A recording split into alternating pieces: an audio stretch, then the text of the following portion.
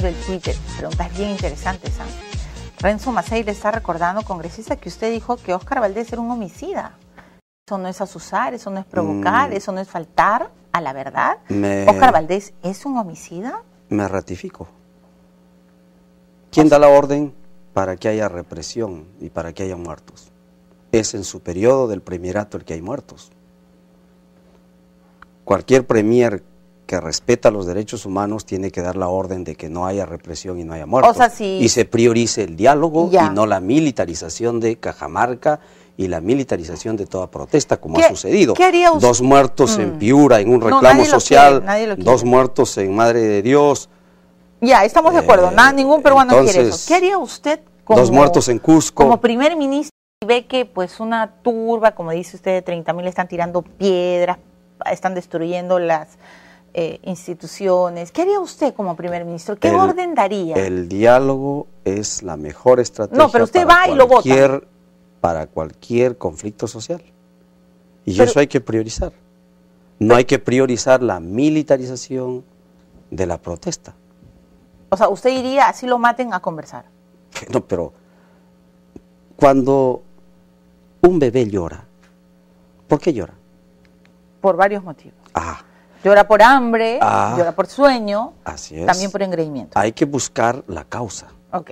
Usted no puede solucionar el problema llanto del niño golpeándolo, maltratándolo, reprimiéndolo. Ya, pero usted... Hay que atender el reclamo del pueblo. Pero usted es el consciente pueblo que está tomar- protestando. Ya, pero usted es Y yo consciente no voy que a ir a reprimirlo. durante 28 años también es, eh, Pero hay 28 que- días es violento. ¿Es consciente de eso, congresista? pero hay que atender la causa, el origen del problema. Pero Santos ni siquiera quiere hablar con el presidente. Bueno, Le mando una no- carta no diciéndole, eso. Conga es inviable, No diga eso. hablemos. No, Yo he leído la dice carta. eso. Acá está la carta. Ah, leámosla si No quiere. dice eso. Co- eh, en la carta dice que al escuchar su disposición del sí, presidente a dialogar, Sí, él también tiene la disposición y por lo tanto solicita, le conceda la oportunidad de que los dirigentes y autoridades Ujú. de ser escuchados para alcanzar sus propuestas del pueblo de Cajamarca. Es decir, está pidiendo una audiencia pública para ser escuchados. ¿Y cuál ¿Por fue la respuesta? Demandando la declaratoria de inviabilidad. Eso ¿Y cuál como fue la que- respuesta? No, no, pero aquí está pues la línea que Pero- no quiere leer las, usted. las introducciones pueden ser no, no es cualquiera. introducción, congresista Pero- Marachín. El punto es que es, es como que yo le diga, congresista, nos sentamos, pero solo yo voy a hablar. Al contrario, pues no. Pero ¿cuál ha sido la respuesta? El presidente le dijo cuando usted quiera. Conga va, No, no, no, y ahora podemos dialogar. No, no, no, el presidente Ollanta Pero ¿cuál ha Humala sido le la dijo- respuesta el sábado? El presidente Humala le dijo cuando quiera ¿Y podemos quiere, y quiere que hablar. le diga cuál ha sido la respuesta del ¿Cuál sábado? fue la respuesta? Una respuesta también timorata, buscando medio punto, Ya. pretendiendo estar bien con Dios y con el diablo, que es la estrategia que no es, a- es aconsejable. O sea, Ollanta Eh, Humala ha traicionado o- al pueblo de Cajamarca. Lo ha traicionado. Y O sea, ha traicionado a y ha traicionado a muchos pueblos del Perú Ya. que están luchando por el agua. Y que no son pocos. Anuncia, Conga va, pero no va. 30 días esperen. Pero Hay una le, comisión. está, pero le está Entonces, pidiendo ¿qué a la eso? minera que cumpla con el informe y le ha puesto varias condiciones. ¿Usted no cree en eso? Eh, la minera ha aceptado, pero Sí, sin pero- embargo, pero ¿cuál usted no es? cree, pues. No, pero eh, estamos hablando de lo que ha dicho. Sí, claro. Y dice, tienen 30 días una comisión para que vean los asuntos legales y sociales y cómo eh, va a ir, o sea, todavía sigue pendiente. ¿ah? Y yo sí creo que el efecto Lugo tuvo que ver acá. O sea, Porque el anuncio, toda la coyuntura, todos los artículos, todas las noticias, la militarización de Cajamarca y la protesta en Cajamarca hacían prever de una toma de decisión fuerte, con represión, con estado de emergencia en. Cajamarca. Bueno, Pero al haber Espinar 17, pasó antes, ¿no? al haber 17 Ujú. muertos en Paraguay y el presidente de la República de Paraguay fuera por 17 muertos, entonces como el gobierno de Ollanta Humala tiene 12 muertos, entonces pero usted cree que aquí los congresistas iban a votar a retrocede, Ollanta Humala? Permítame, permítame decirle, retrocede y entonces va con una propuesta diferente, ¿no? Yo creo que está un poco y- mezclando papas con camotes, congresista. No, no es eso. ¿Cómo, Ve- cómo, ve- pre- veamos- cómo cree usted ve- que el veamos Congreso va a votar a 30 Ollanta Humala si tiene mayoría? Con Perú posible y gana Perú imposible Quiero, votarlo. quiero decir lo siguiente, miren. A ver. Yo quiero expresar públicamente una posición particular, particular, que tengo sobre el tema. Una opinión política. yo felicito al Congreso de la República de Paraguay porque están haciendo respetar su constitución y están poniendo como punto principal la vida de sus habitantes. Nosotros no queremos gobiernos o presidentes matones. Nosotros queremos gobernantes que respeten a su elector, porque los muertos son tus electores, que votan por todos los partidos. Y alguno de esos muertos ha votado por el presidente, indudablemente. Pero discúlpeme, para eso está la, la vida, ¿no? La vida es lo primero. para saber quién mató a quién. Pero la vida es lo primero. Entonces, ¿usted cree que hoy es un matón? La vida es lo primero. Estoy hablando del caso de Lugo. No, le pregunto a usted. Porque, allí, ¿cuál es la causa? ¿Cuál es la causa? ¿Cuál es la causa? ¿Cuál es la causa por la que sacan al presidente Lugo de la presidencia de la República. Porque hay un interés político, Por los 17 pues. muertos. No, no, sea tan inocente, pues ya, hay un interés yo político. creo y convoco, pido la reflexión de mis colegas, que haya en primer lugar, como lo dice nuestra Constitución, respeto por la vida de la persona. Bueno, eso es lo que todos pedimos. Y entonces cuando en un acto de protesta se mm. reprime y se mata a los electores, yo no creo que haya un partido que diga que esté de acuerdo. Pero usted cree que un presidente dice vamos a matar, porque en el tiempo, en el tiempo de elecciones, ¿por qué no hay muertos? Ah, en el tiempo de elecciones, abrazos y besos con el elector. Llego al gobierno, actúo en contra del pueblo, no soluciono su llanto, no soluciono si usted fuera presidente y tiene un solo muerto, usted se va. Le pregunto, la vida es lo principal. No, le pregunto, o sea, usted tiene un solo muerto en una protesta social y usted se va.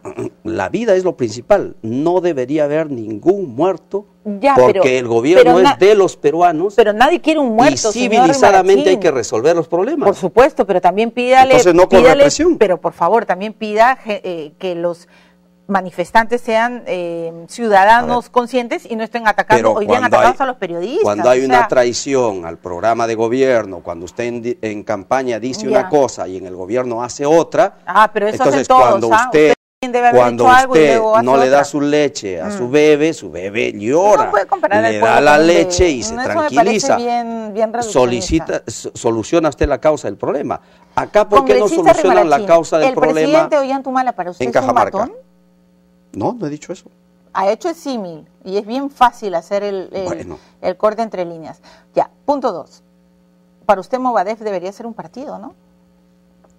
No, ¿Usted yo, está de yo, no, yo, yo no estoy de acuerdo en que los terroristas ingresen a la vida política democrática del país. No está de acuerdo. Y tampoco estoy de acuerdo que los que los partidos políticos que ejercieron el gobierno más corrupto de la historia del Perú estén en la vida política. Yo creo que ambos deberían ser ilegalizados. ¿Quiénes? ¿Quiénes? ¿Quiénes? Nombres. ¿Quién fue el gobierno más corrupto de la historia del Perú? Yo, yo le estoy entrevistando a usted. ¿Quién? ¿Quién? O sea, los fujimoristas no deberían de ser parte del gobierno. los apristas tampoco. De 3 mil a 6 mil millones de dólares. Mm. que han robado al Perú y que están en los cálculos de diferentes artículos, investigadores, periodistas y científicos, por lo menos que devuelva la mitad. Ya y la otra mitad lo goce sus últimos días. O sea, los de Gana Perú también, algunos no deberían de ser ni congresistas, ¿ah? La Robacable y el Comeoro ya deberían de haber seguido, según su Definitivamente debería purificarse la política, debería limpiarse eh, la moral pública. Muy bien.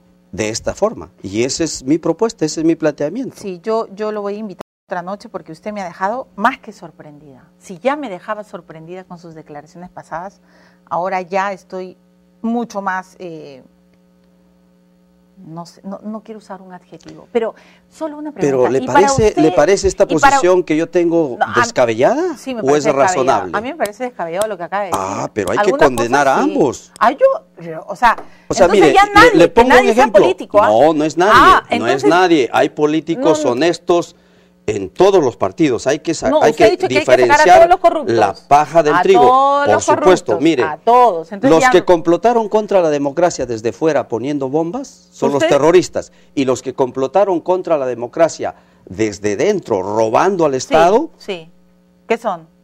Corruptos. Y hay que votarlos. ¿Y, qué queremos? ¿Que sobrevivan los pues, corruptos? el come y la robacable de su, de su ex bancada. Lindos, Ahí están los que gobernaron al Perú y un poco más se lo llevan Ya, me, voy. Poniéndole- me ganó el tiempo, pero bienvenido siempre a mi programa. Otro día tenemos que seguir conversando. Sí, magnífico. Y, y en una frase, ¿qué es Abimael Guzmán para usted? ¿Un terrorista? Ah, qué bueno, porque pensé que había algo... No, no, no, de ninguna manera. ¿Y Saavedra fue o no terrorista? Ha sido un terrorista. Ujú. Ha purgado su condena. ¿Y Santos es o no un intolerante? Está al lado de su pueblo y el pueblo no es intolerante. Está reclamando algo justo que le ofrecieron en campaña. Y Ya. eso me parece una eso de demanda eso de- auténticamente Eso justa. de no querer hablar con el presidente y solo hablar en sus términos me parece bien soberbio, ¿no? Se cree más presidente que Humala. Eh, yo calculo que debería ah, escucharse al pueblo de Cajamarca. Yo también Y veo que no hay la voluntad de escucharlo. La respuesta del 20 fue no quiero dialogar. Congresista, lo que está diciendo de verdad, con todo respeto, es mentira. Nosotros a Santos lo hemos invitado 20 veces a este programa. Al señor Saavedra me encantaría que se Sí, siente pero- ahí donde está usted. pero no es verdad. lo- lo importante- no, no, no mientan Lo tampoco. importante es que lo que estamos hablando es que haya diálogo Por supuesto. con el queremos. gobierno central. Por que se establezcan los Pero también canales con del los caso. periodistas, pues los periodistas somos puentes. Ah, por supuesto, también. Bueno, agradezco muchísimo por, por haber venido aquí. Qui- Quisiera despedirme manifestando que el Perú no es un país minero. Y termino con el siguiente dato. Más del 90% de los ingresos fiscales provienen de la tributación de los peruanos. La minería al presupuesto general de la República solo aporta del 7 al 12% en los últimos tres años ¿Quién le ha dado ese dato? Del Ministerio de Economía y Finanzas. ¿Castilla le ha dado ese dato?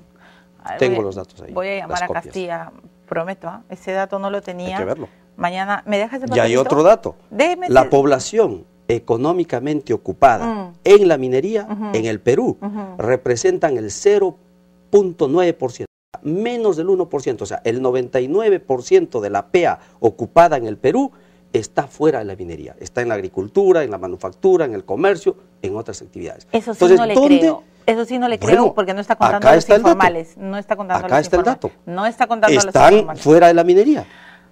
¿Cómo que fuera de la minería? O sea, los lo- los- informales los- están haciendo Ah, la- extracción. la minería ah, ok. también ya, allí. Tampoco me maquille los números. La Bueno, minería informal ¿Me regala ese allí. papelito para Encantado. llamarle a Castilla? Encantado. Muy bien. Muchas gracias, congresista gracias. Nos, me quedaría muchas horas con usted, pero tengo una invitada también a la que tengo que entrevistar. Muy bien, señores. Era el congresista Jorge Rimarachín. Ustedes ya lo escucharon. El Perú no es minero. Según él, ha dado unas cifras que yo las desconocía, pero dice que el Ministerio de Economía las ha dado. Y lo que acaba de decir es que, bueno, no, para él Conga no va ni hoy, ni mañana, ni nunca. ¿No es cierto? Así que seguiremos hablando con él en los próximos días para entender mejor su pensamiento. Regresamos con Liliana Mayo, la directora del Colegio Espe- para Niños con Habilidades Especiales ANSUL. Ya regresamos.